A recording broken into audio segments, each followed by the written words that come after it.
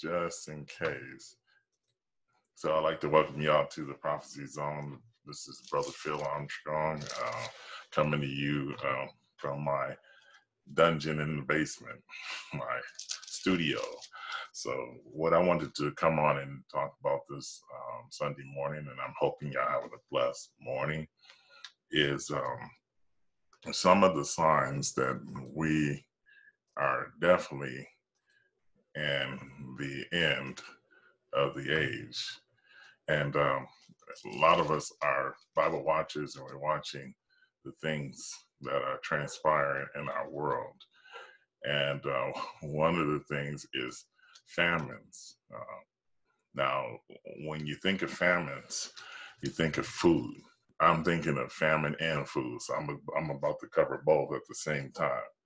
And you probably like, well, how how is that possible?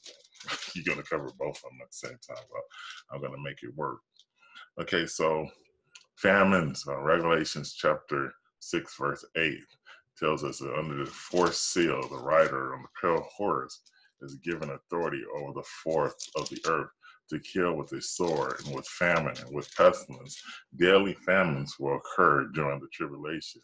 They will be a factor in wiping out one fourth of the world's population during the first seal judgment, uh, during the seal judgment, excuse me, described in Revelation chapter 6, according to the story published by the National Geographic's website on May 12, 2020. Swarms of giant locusts and swarming parts of, or swarming parts of the East Africa, bringing with them great famines.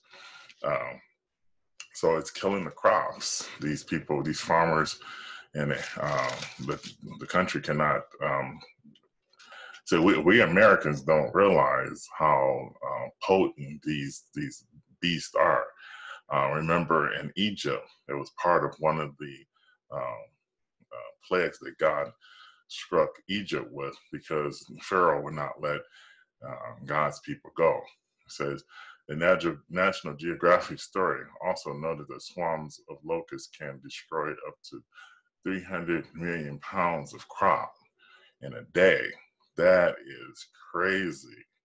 Okay, folks, we're, we're dealing with uh, pandemics, uh, we're dealing with uh, commotions, riots, and we're dealing with famine. Okay, and then so also what I was talking about is famine of the Word of God. Um, in order to know what's going on, we have to read God's Word daily. So, okay, so inflation. Okay, it's going to come a time. The Bible says that a, a, a loaf of bread will cost a day's wage. Um, that is that's ridiculous. So it says Revelation chapter six verse six reveals that a time of great inflation lies ahead of, uh, on the world during the tribulation, such as a quart of wheat will sell for a day's wage. Do we see the potential for this in our world. Absolutely. Venezuela stands as an example of devastating inflation caused by government debt and printing money. And they want to bring that to America. And that that's not that's not good. Uh, they want to bring that to America. Come into America.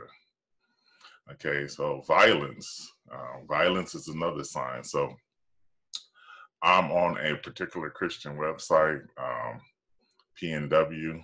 Uh, so it's uh, prophecynewswatch.com. Um, violence. Um, I want to read something from the Bible, um, but it says Revelation 9:21 tells us that about people during the tribulation period, nor did they repent of their murders and their sorceries and their sexual immorality and thefts, just as in the days of Noah, violence will fill the earth during the tribulation period. And we can already see signs of that happening right now. Um, and a lot of the stuff that, you know, I'm, I'm going to be honest with you guys, I believe it's made up. Uh, a lot of it's paid for, bought and paid for. But it's going to come a time where it's going to go live, where real people are frustrated because they're going to uh, uh, take your welfare checks and your food stamps and your Social Security, and um, you know, they're going to take things that you you kind of we as a nation held for granted. I, I'm not talking about you in general, but as Americans, we took for granted. Um, America was a free nation uh, for so long. Um, and when we did go to slavery, we did go to the civil rights movement, and that is true. But we we also had like 30, 40, I mean, since I was a kid, um, and since the 1970s, the late 1970s, um, you know, there's always going to be racism. You, people are going to experience racism, and um, you know that's that. But anyway, uh, it says on uh, the Antichrist will cause the killing of a number of saints during the tribula- uh, tribulation time. Revelation 7 9 14 uh, pictures a large multitude are murdered that have come out of the great tribulation. These are no doubt the same ones John referred to in uh, Revelation 6 9, who were killed for the word of God and the witness they had bore. We also see the violence across Christians in our world and the seeds of it in the United States. I saw a um, somebody on Facebook um, post uh, some of the statues are being torn down, uh, and some of the statues um, rep- are down south, south, and uh, ha- ha- represents the Confederate um, and, and, things like that. But they also made a mockery of uh, Abraham Lincoln in Washington D.C. Uh, in some parts of the United States. But uh, pretty soon, and this is what it said. It said pretty soon, uh, a lot of the um, you know Christian monuments was gonna fall, and and, and I also saw another um, person say, uh, well, eh, it, it's it's it's on the verge of idolatry anyway because you shouldn't have Jesus in your city on on uh, you know as a statue. You know, like it's one a cross is one thing, but having Jesus, the Bible talks about that as being idolatry because you're worshiping, you're, you're honoring a sign or a statue. Okay, it says, Can there be any doubt regarding the daily intentions of the left in America who advocate abortion up to and uh, after birth, who put patients sick with uh, COVID 19 in, in nursing homes, killing thousands of elderlies, and who send police to stop worship services? Okay, so that that's covered under violence. Then it says increase in anti-Semitism. Okay, and and this is going deep in our society. I remember some of my relatives used to say things that that they didn't trust the Jews. I said, like, what? What did the Jews do? No, at that time, I wasn't born again. I wasn't saved. Since we also know the second half of the tribulation period will be a time of deadly violence against the Jewish people. Now they're going to have to go to Petra. Uh, they're going to get swallowed up in Petra.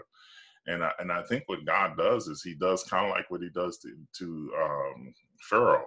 Pharaoh's heart was hardened. And God um, hardened his heart that, that it would be difficult. So he, he sent those plagues and kind of like uh, Pharaoh did it to himself, because at first God was giving him an opportunity, but as time went on, he started to harden uh, Pharaoh's heart. So the Antichrist will, and I'm kind of reversing this, would be blind to the fact of what's in the Bible. If he would have read the Bible, he would have known that they were in Petra. But God, uh, and, that, and, that's near the Jordan Valley. That's in Jordan. Um, Petra is. And you heard what the president of um, Jordan said that, that Israel annexed that uh, property in the in the land. Um, I can't explain it in this video because I'm running out of time, but he, it's going to be war in the Middle East. So the New World Order. Okay, if you go to the UN uh, website, you notice that they they call themselves the New World Order. And they're starting to be blunt about it. So I say this, you know, as far as the rapture is concerned, it's very near. And if they're doing stuff like that, then it's very near. Um, tell your family, tell your friends, tell your coworkers, tell tell everybody that Jesus Christ is coming soon. It says the scriptures tell us that a one world government will dominate the entire earth during the tribulation period, over which the Antichrist will seize control. Daniel seven twenty four 26 in Revelations 13, 1 through 10. Today we see the coming of the one world government forming before our very eyes. The UN now has a website, I mentioned this earlier, um, and it's entitled "Let's Take Our Planet Back." And it is um, is you if you want to go to it is um, colon slash uh, UN. It says UNNWO dot org. So they actually call it the UN New World Order. It's, it says it says as easy. It's an easy way to remember. The link is to think of the United Nations New World Order. That's amazing. That's amazing. Okay, surrendering our rights. Um, if you go to Daniel chapter two, and you look at the the head of gold is um, Babylon. Um, the two arms is Media Persia. The chest is Greece, uh, and the bottom is um, uh, the bottom legs are um, Rome. But the feet is 10 feet. That represents the Antichrist kingdom. And it's mixed with iron and in, with clay. Iron means an iron fist, like Adolf Hitler. And the clay means the people, like the United States. Now, mix those two together, and that's what you get. I think you're going to get something worse, like a tribal thing. You ever watch those movies when you got warlords and tribals, and they got ear, they got these hair, they got these knives, they got the, per, you know, just ears all tap, you know, loafed up and and earrings and all kinds of stuff, and they looks just tough, you know, that tough look. Warlords taking over counties and taking over cities, and you know, you ever watch the movie Escape Escape from New York? Um, but uh, you know, um, surrendering right. So since the onset of the COVID nineteen, the willingness of the people in the United States to surrender their rights and freedoms have astonished me many barely follow unconstitutional restrictions, blindly follow um, unconstitutional restrictions without protest or any resistance whatsoever. This has been a successful test run for the globalists. It certainly has been. Okay, so the mark of the beast technology um, you know, with Bill Gates, he's he's declaring that he wants to give us a vaccine, but he also wants to give us a vaccine that has a tracer in it, who, traces every human being. Now, if you go to the corner in my city, you got cameras all the, every part of the four intersections. You go into every building, there's cameras. You go, no matter where you go, it's cameras. Um, and they're going to be tracking us heavily. Okay, what about um, Middle East tensions? Middle East tensions. We see the annexation coming in July 1st. Is is Netanyahu going to do it? He seems like he's not wavering. He seems like he's going to do it. I don't know if he's riding on a political thing or what, but he is going to annex uh, the Middle East, and then they're going to start looking at Israel. We know that the Bible says in Zechariah that all nations will come against Israel all nations will start to criticize Israel, and it will be the catalyst uh, to bring about the Israel surrounding uh, neighbors like Egypt and Jordan and and the Palestinians and you know Iraq will come against Israel, and and then after that there will be a confederation of nations with Russia coming down to attack Israel. Okay, so um, apostasy. We know we're deep into apostasy uh, the churches, the church age is um, has been here for 2,000 years. And, and Jesus said that when I come back um, to the earth, when I come back for the rapture, will I find the faith?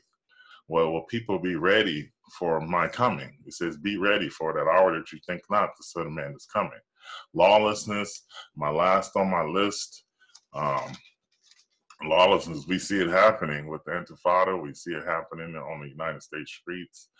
Um, you know, it just it's just a matter of time before we, you know, I, I, like I said, I brought. I think most of these things that we see on TV right now bought and paid for, but eventually we're going to go live, and people are going to be really angry um, at the government for taking their subs uh, entitlements and uh, Social Security, veteran pay, um, and I'm stepping on my own feet.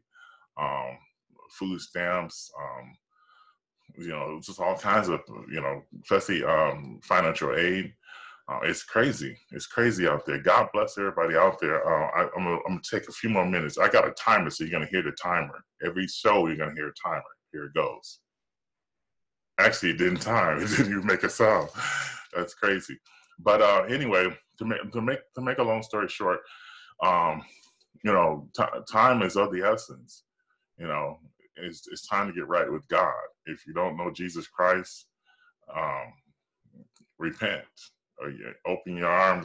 You know, pray to God. Say, "Forgive me for all my sins," and follow God daily. You know, follow God with all your heart, all your mind, all your soul. Uh, if you want to say a prayer to, to, ask Him to be your Savior, then go for it. You know, uh, I'm going to do a, a show um, once, uh, probably try to do them as fast as I can.